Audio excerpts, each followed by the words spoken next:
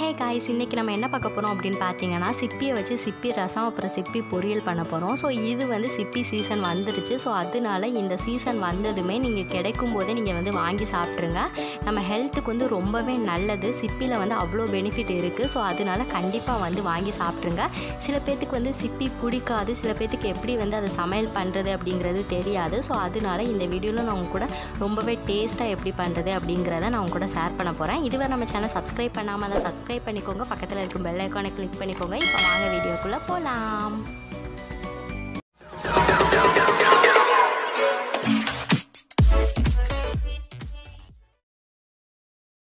வந்து சிப்பியை வந்து நல்லா அவிச்சு எடுத்துக்கோங்க. ஸோ வந்து அவிச்சு எடுத்ததுக்கப்புறம் நம்ம வந்து இந்த மாதிரி நமக்கு அது கூட வந்து வாட்ரு கிடைக்கும். ஸோ அந்த தண்ணியும் நம்ம எடுத்துக்கணும். அந்த தண்ணியில் தான் நம்ம வந்து இப்போ ரசம் பண்ண போகிறோம் ஸோ இப்போ வந்து வாட்ரு தனியாக நம்ம வந்து சிப்பி தனியாக பிரித்து எடுத்துக்கலாம். ஸோ அந்த வாட்டரில் தான் நம்ம வந்து ரசம் பண்ணுறனால ரொம்பவே டேஸ்ட்டாக இருக்கும். இப்போ நம்ம வந்து சிப்பியை தனியாக எடுத்து வச்சுட்டு இப்போ ரசம் எப்படி பண்ணுறது அப்படிங்கிறத பார்த்துடலாம் இதுக்கு தேவையான பொருட்கள் என்ன அப்படிங்கிறத பார்த்துடலாம் ரொம்பவே சிம்பிள் தான் இது. ரொம்ப ரொம்ப சிம்பிள் அப்படின்னு சொல்லலாம். ஃபஸ்ட்டு என்னது அப்படின்னு பார்த்தீங்கன்னா புளி தண்ணி எடுத்துக்கோங்க. ஸோ கொஞ்சோண்டு புளியை வந்து ஊற வச்சு அந்த தண்ணி எடுத்துக்கோங்க. நெக்ஸ்ட்டு வந்து சின்ன வெங்காயத்தை வந்து குட்டி குட்டியாக கட் பண்ணி எடுத்துக்கோங்க. நெக்ஸ்ட்டு வந்து ஒரு பச்சை மிளகாய் ஒரு காஞ்ச மிளகாய் எடுத்துட்டு காய்ந்த மிளகாயை வந்து நல்லா சுட்டு எடுத்துக்கோங்க. நெக்ஸ்ட்டு லாஸ்ட்டாக வந்து ஒரு தக்காளி எடுத்துக்கோங்க. அவ்வளோதான் ரொம்ப ரொம்ப சிம்பிள் தான். ஸோ லாஸ்ட்டாக நமக்கு வந்து தேவையான அளவு வந்து உப்பு அவ்வளோதான் இப்போ நம்ம வந்து புளி தண்ணி வந்து ஆட் பண்ணியாச்சு. ஸோ அதை வந்து நல்லா மிக்ஸ் பண்ணி விட்டுக்கலாம். நெக்ஸ்ட்டு வந்து சின்ன வெங்காயத்தெல்லாம் சேர்த்துக்கலாம். அதுக்கப்புறம் வந்து நம்ம தக்காளி வச்சுருந்தோம்னா ஒரு தக்காளி. ஸோ அதை வந்து நம்ம வந்து நல்லா பிழிஞ்சு எடுத்துக்கலாம். அப்புறம் நம்ம வந்து காய்ஞ்ச மிளகாய் பச்சை மிளகாய் எல்லாத்தையும் நம்ம வந்து அதை வந்து மிக்ஸ் பண்ணி எடுத்துக்கலாம். இப்போ பாருங்கள் நம்மளோட ரசம் வந்து ரெடி ஆயிடுச்சு. ரொம்பவே டேஸ்ட்டாக இருக்கும். ஸோ லாஸ்ட்டாக நம்ம வந்து தேவையான அளவு வந்து உப்பு சேர்த்துக்கலாம். சீரியஸாக ரொம்ப ரொம்ப டேஸ்ட்டாக இருக்கும். நம்ம ஹெல்த்துக்கும் அவ்வளோ நல்லது. கண்டிப்பாக நீங்கள் ட்ரை பண்ணி பாருங்கள் இந்த ரசம் செஞ்சு சிப்பி பொரியல் செஞ்சு கூட அப்பளம் செஞ்சு சாப்பிடும்போது ரொம்பவே டேஸ்ட்டாக இருக்கும். நமக்கு வேலை டக்குன்னு நமக்கு வந்து முடிஞ்சிடும் இப்போ வாங்க சிப்பி பொரியல் எப்படி பண்ணுறதுன்னு பார்க்கலாம். நம்ம வந்து சிப்பி பொரியல் எப்படி பண்ணுறது அப்படிங்கிறத பார்த்துடலாம். இதுக்கு தேவையான பொருட்கள் என்ன அப்படிங்கிறத பார்க்கலாம்.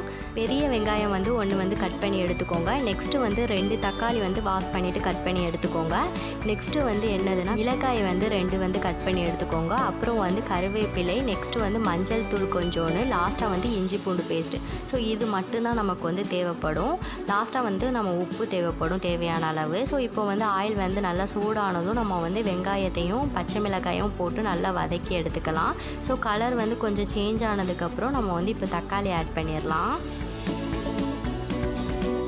இப்போது தக்காளி வந்து நல்லா வதங்கிருச்சு. இது கூட நம்ம வந்து கருவேப்பிலை சேர்த்துக்கலாம். ஸோ இப்போ வந்து இது கூடயே நம்ம வந்து இஞ்சி பூண்டு பேஸ்ட்டும் சேர்த்துக்கலாம். இதை வந்து நல்லா மிக்ஸ் பண்ணி விட்டுட்டு இதுக்கப்புறம் நம்ம வந்து சிப்பியை ஆட் பண்ணிடலாம் இப்போது நம்ம வந்து சிப்பி சேர்த்தாச்சு. இது கூட நம்ம கொஞ்சோண்டு மஞ்சள் தூள் சேர்த்துட்டு தேவையான அளவு வந்து உப்பு சேர்த்துக்கலாம். இதை வந்து நல்லா மிக்ஸ் பண்ணி விட்டுட்டே இருங்க. அடி பிடிக்காமல் கொஞ்சம் நேரத்துக்கு ஒருக்க ஒருக்கா மிக்ஸ் பண்ணி விட்டுட்டே இருங்க. ஸோ வந்து நம்ம எந்த ஸ்டேஜில் வந்து ஸ்டவ்வை ஆஃப் பண்ணுறது அப்படிங்கிறத காட்டுறேன்.